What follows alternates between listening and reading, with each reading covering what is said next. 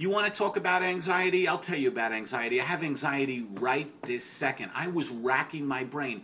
What do I talk about? Um, this is for an anxiety project. I was, I'm, it's not that I'm palpitating, but what goes on with me is um, the line between terror, anxiety, excitement, enthusiasm, they all blend into one. I used to get panic attacks when I would get in an elevator or a subway car. All of a sudden, one summer in New York City, way before 9 11, I could not get in an elevator. My heart would start palpitating or a subway and I realized I was suffering from claustrophobia. I had never had claustrophobia for, before. This happened when I was about 35.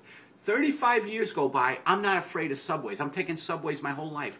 One day, a subway pulls up and I can't move. I get an anxiety so powerful that what happens with me is that I just shut down. It's like an entity. I'm serious. Anxiety is, for me, is an entity that comes into my system. I could not get on an elevator. I could not get on a subway. And now, 18 years later, I'm off of Prozac. I was put on Prozac and Klonopin to combat anxiety. I'm off of both medications. I just juice things. And I juice things with a Fura, not the Führer, but of Fura and, and anxiety, when I'm juicing apples and oranges and pineapples, there's so much tension that goes into it because I have no more medication. I just eat raw foods and I eat juices, I drink juices, and now I have so much going on in my life because I am dealing with things just through prayer, meditation, and screaming I am now just terrified. I'm conscious for the horror. And that's the great thing about an acceptance of anxiety is that you're just conscious for the horror. You realize there's a lot of beauty in life and there's a lot of horror in life. You could see a beautiful French bulldog in a park and then 12 seconds later you could see someone lunging at, a, at an elderly person with a knife and that's all in the same park that I attend.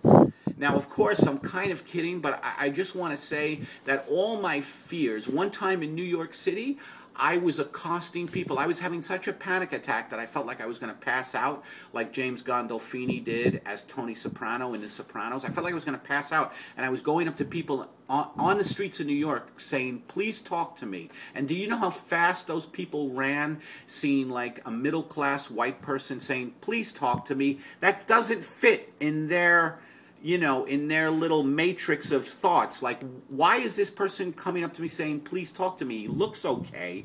I wasn't okay. I checked myself into an emergency room that day. I called my shrink who said, Get out of the emergency room. They're going to throw you in the psych ward and you're never going to get out. So I never went in because I probably wouldn't be out. Because who doesn't want to be in a psych ward in slippers playing ping pong? And, and, and eating pudding. I, it sounds good because when you're in a psych ward with slippers, ping pong, pudding, and really high dosage anti anxiety medication, you're not dealing with what I'm dealing with right now. I may go to the Edinburgh uh, Fringe Festival in Scotland, 26 shows in 28 days. I'm a stand up comedian. You think that's not anxiety provoking? Everything's anxiety provoking. I I hear the mailman coming and I'm thinking, oh my God, what horror is going to be in that mailbox? What bill that I should have dealt with? I think the key to being an anxious person is that everything has such gravity to you because you're insane. Things aren't that important.